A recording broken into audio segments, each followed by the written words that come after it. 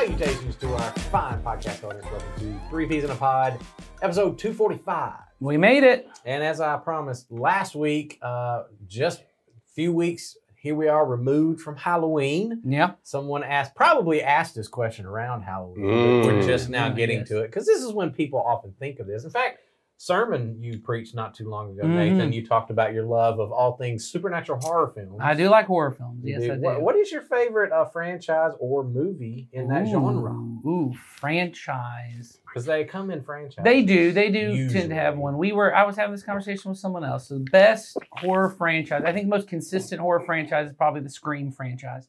My daughter would totally agree with you. Yeah, they're they're Scream. really good. They Mhm. have they've been pretty consistent. Only one that's not very good. Mhm. I'd say when it comes to possession stuff, the new Conjuring movies are really good. Yeah, I've heard that as well. So haven't watched those. They're good. I mean, Aren't if you like supposed to be based on truth.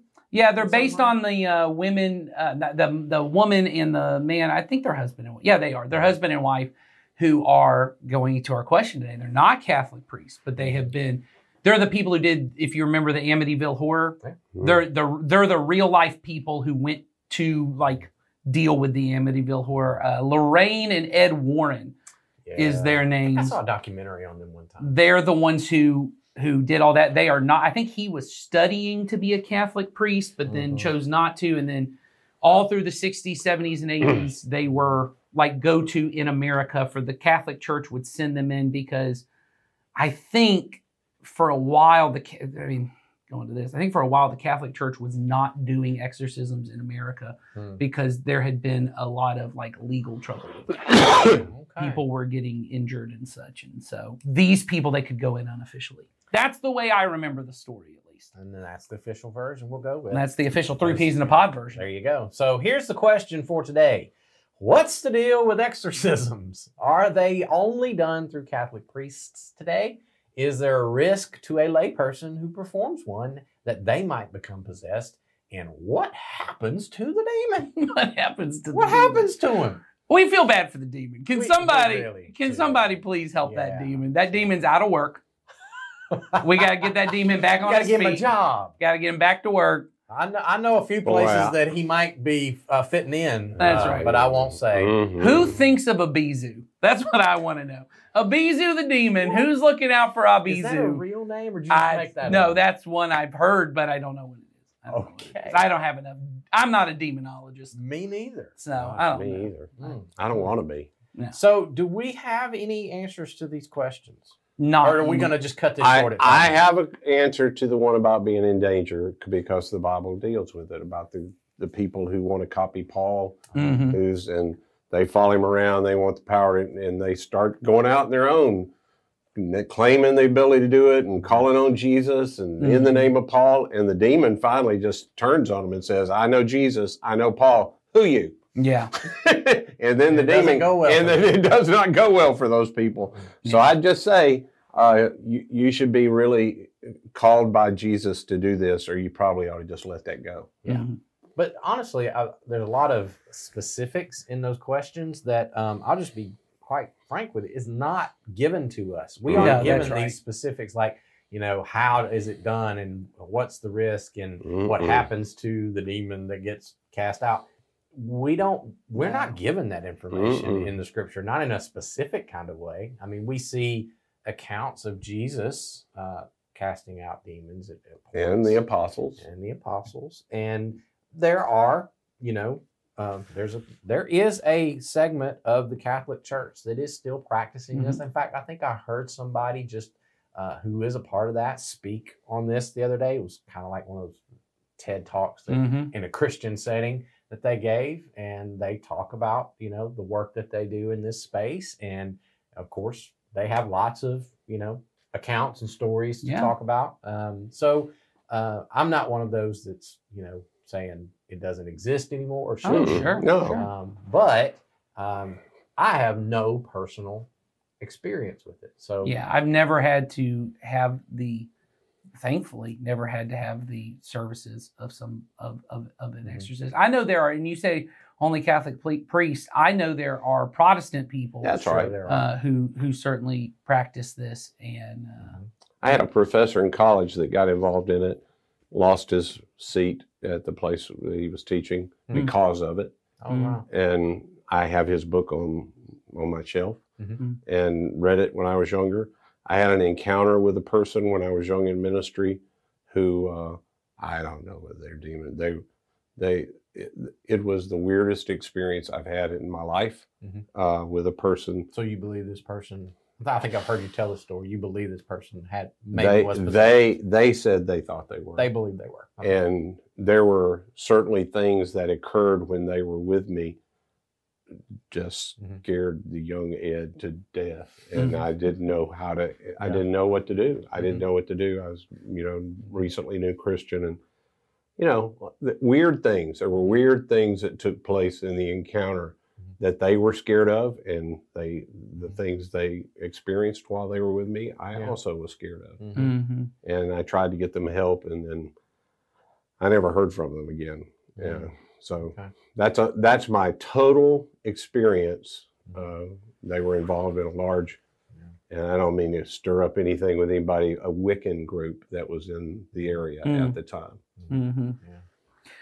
Yeah. I think, and most of the things I read about it is it is far less common in uh, maybe like developed nations Yes, I read the same things. than than it is, and pro- most likely. Um, and I had someone have this conversation after I said I liked horror movies. They wanted to come ask me about are you are are we opening ourselves up to the to the demons by watching the demon movies? And I get that, and I think that I get why people have that sort of fear around it. And what I would say is my understanding has been, at least from people who work in these kind of things, uh, work in these kind of fields, is part of the reason in less developed nations you tend to see what we characterize more as demonic possession. Um, is because people are more open to spirits Mhm. um, and so it is more of a you have to be caught what i understand is you you need to be cognizant of i want to interact with these Mhm. spirits and i'm open to this which is why jesus says to the apostles that hey or the disciples at the time he says you know when you remove these demons from someone you got to replace that with this holy spirit. The people have the holy spirit inside. He's a strong man. He'll defend the house. You're not these demons are not going to overtake the holy spirit but there are ways in which we open we, we are open now i don't think watching a horror movie necessarily does that because and i said this to the Because person you're not open to that. well, and the point of the horror movie, there are a few that aren't this way, and honestly, I think I think we tried to do this with the Family Movie Night podcast. I actually think there are a lot more dangerous message out there that have any that have way less to do with uh with than horror movies because I think we are not good at reading media. What I mean is Mm. even the things that we watch. The point of a horror movie is to say you don't want this nonsense in your life. When you watch a horror, you don't watch it and go, "Now that seems Mhm. interesting." I bet my life would be better if I conjured something up. Yeah. You watch it and you go, "Ooh, I want to stay away from something like that." I don't. That's what it inspires within me. Mm. Uh, that's a different feel. Than, and then there are movies we watch, uh, and you watch them, and the sinful behavior you see on screen, you do want to participate in that. Mhm. That might be more damaging to you. Yeah. The- Well, certainly in the message you talked about yesterday, this and we talked about the spiritual reality of money. Anybody, uh, I, I can tell you for sure, and I had this conversation with somebody yesterday. I have heard money speak to me, not in an Mhm. audible voice, right. But uh, I have several instances where the uh, voice of money calling me to turn my back on what God would want in my Mhm. life has been really, really uh, overpower. Uh, not overpowering because I did turn away from it, but uh, if you don't believe there's a spiritual reality in our country, Mm. having been formed on the base, and, and I, I get we have a motto: "One nation under God," and pilgrims came for religious freedom Well, and we put it on the and and and they came for religious freedom and land that they thought they could take away from people that didn't have the sense to protect it. yeah. Uh, so, and we so the whole thing. boy, I'm really dwelling in dangerous country. uh, tro- Just talking about the United States right now, but uh, we we are, our capitalism has bred something in us sure. Well, that politicians on either side know they can get a dog whistle by talking about hey, it's just the economy. And uh, when you have the greatest economy in the world Mm. and people still are crying for more, Mm-hmm. more, more. I mean, currently, I just heard the other day, in my home state, the residents of Mississippi, which is not as known as a really wealthy state, Mhm. That uh, the per capita income there is greater than most of the countries in Europe. Mhm. Wow. Uh, and yet, everybody in our country thinks we have a problem. Mhm. There might be something involved there Yes. that Mhm. has made us think that.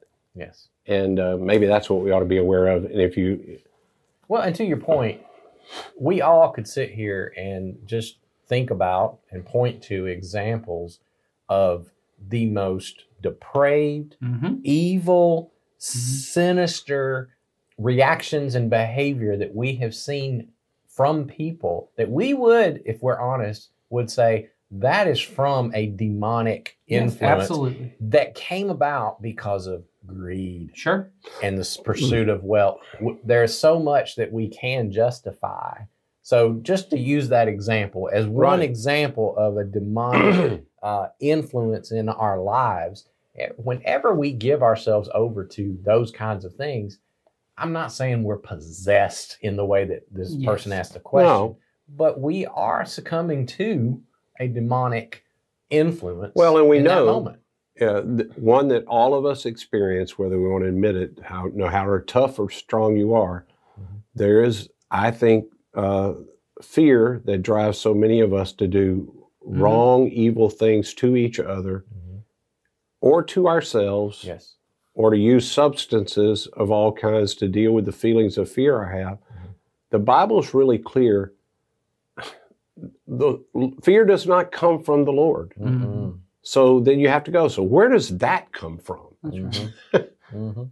You know, Yeah. it doesn't come from the Lord. Mhm. And yet, you know, we try all kinds of ways to deal with that other than just trust. You know, I've got to trust the Lord. There are tools I need. I need people to come alongside and help me, not downplaying. That's also true with the problem with money. Mhm. And uh, some of us need to be have an exorcism on our money. Mhm.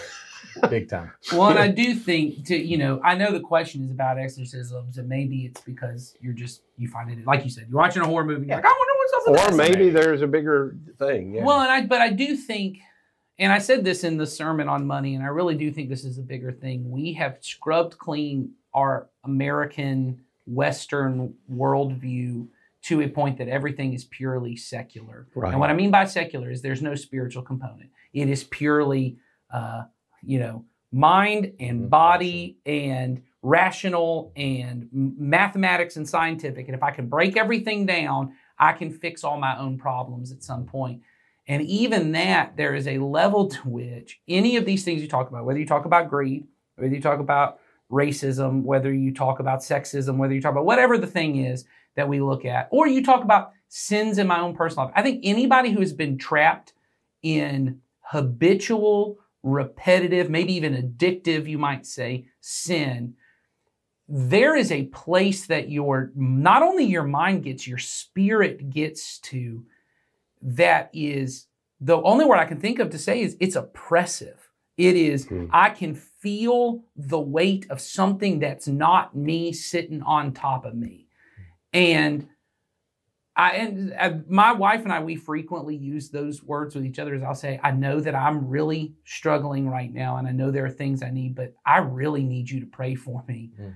because I think this is spiritual oppression as well. I think that the enemy is happy and like we've said doesn't that doesn't take away from any of the mental health work I may have No, to do or the physical No, no, health no. work I had to do. all of those are tools God uses to break the bonds. Yes, and and all of those those you could say traumas that happen or any of those things are doorways that the enemy looks at and goes, I, if I start working on that thing, that's a th- that's where these thoughts can get in my head. And so there's things in my life that I look that I will allow myself to get overwhelmed by, and then I feel there's this other thing speaking to me. This voice is not just me. This is not just my own self talk going on.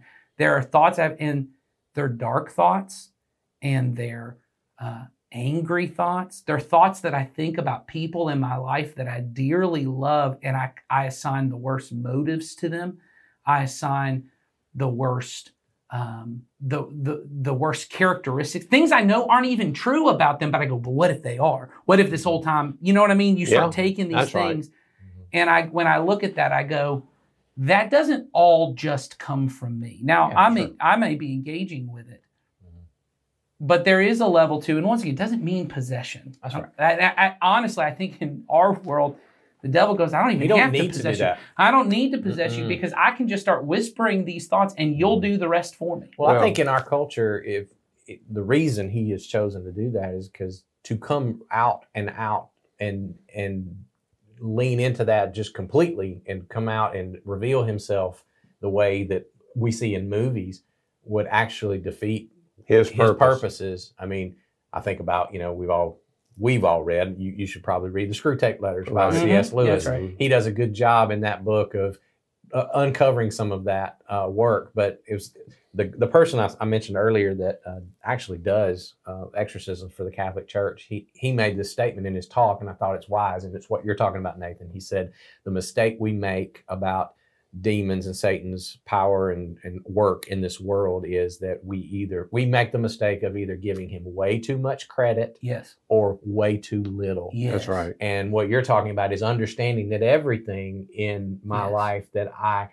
I give power over to him is I'm coming under the influence of Mhm. That's right. of a demonic uh, influence. But it's not all the way that I am fully possessed. That's It- right. But to de- but to then ignore and say, well, he's not active at all. And there's no spiritual nature to anything. That's, right. a mistake too. That's right. Well, and it's part of his tactic because if he Mhm. can convince me all of those dark thoughts are me, Yeah. then I start having, and I know, I know you've talked about this with people that you've worked with. Yeah. You start having thoughts of what's so terrible about me that I'm having these incredibly dark thoughts. Mhm. Well, all those thoughts didn't come from me. That's right. or you begin to say, everybody has these thoughts. I'm just honest about them. Well, Everybody is this way. I've had There con- is nobody that's. I've had conversation, and then that leads to even further division between me and other people because if I assume everyone thinks the horrible thoughts I think about them and they're thinking about me, why would I ever trust you? That's right. because now I'm in a place where we're doing. I, I had to say that to one of my kids the other day. He said, "Every person is every uh, is angry every single day," and I said, "No."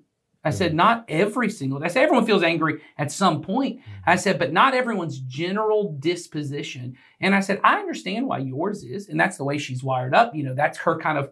Trigger emotion when she goes. One one of my daughters, hers is I'm gonna break down and feel sad and cry. And I said that's everyone's wired a different way. I said, but to assume everyone views the world the way I view the world, I said, is not a healthy way. You have to start asking people questions of saying, hey, what are, what are you feeling right now? Mhm. What do you think right now? Because it opens me up. Things that lead me not to trust God, not to trust myself to God, and not to trust myself to other people automatically are not helpful to me. Mhm. If I have people around, and again, there are untrustworthy people. Sure, Absolutely. absolutely. But Absolutely. when I begin to apply what some people have done to me to all Right. people, Mhm. the enemy is already winning Mhm. because I was built my my spirit and soul I am re- I require other people to have interaction with me. I am I cannot be healthy in isolation. I That's just right. can't. Yeah. That's right. Mentally, spiritually, I just Yeah. can't be healthy in isolation. And so many of us walk through and have things happen to us, and they are bad things that happen. And our first thoughts of, I can't trust anybody anymore. Mhm. Uh, or why would God let this happen? Those thoughts, in and of themselves, do not come just from within you. Mhm. Those are thoughts that are sown. I mean, they're the original thoughts. You know, God Yeah. said to you, Mhm. you shouldn't eat that because God knows you. You know, He don't want you to be like Him. That's right. That's a don't trust God. Don't trust God. Yeah. Mhm. You ought to just trust yourself. Mhm. And now you can't tell your husband, or you know, you got to you got to get him to buy in with you, so he'll be just as guilty as you. Yeah, that's right. So that's all I'd say about this is we don't have a lot of direct questions about this, but I do think, and the way Jason kind of paired it up, I think is a good way is to to fall into this everything's the devil and the devil's controlling me somehow, and that's probably not very helpful. But also going to everything comes from me or other people is also probably not help, helpful because the Bible is written from an entire worldview that Jesus seemed to, to, to hold, which is that there are spiritual forces at work in this world at all times, and we are interacting with them. And it seems to be that the goal of his kingdom is to free us from the kingdom of darkness, or as he says, the prince of the power of the air. That's how Paul puts it at one point, is to free us from that kingdom to another kingdom. It is about who do you want to align yourself with? Mm-hmm. And we have the freedom of, as in all of these things, I can apply. If I if I trust my life to Jesus, He will help me work through all of this, and He frees me from that other power so that I can live in a healthy way. And I think that's the key for us. There you go. So don't worry. You're good. Yes. But don't mess around with no Just demons. don't mess around with. Don't mess Don't around with no That's demons. right. Stick with Jesus. He he got you back. And you don't have to watch scary movies. Just stop like telling me I can't. And That's right. You don't have to watch them, but I like them. And again, if you trust Jesus, Yeah. Jesus is taking care of the demon in the right way the demon should be taken care That's of. right. Whatever That's right. happens, to Whatever them. happens to him. Yeah. They, you know, one It time was- they went to the pigs. Other That's right. they just But then went they went off a cliff, but we don't know what happened. We don't know what happened We after have that. those. So you We, know, we don't know. We just, yeah. All right. Come back next week. Uh, we will have uh, another question for you, and uh, we'll see you then. Bye.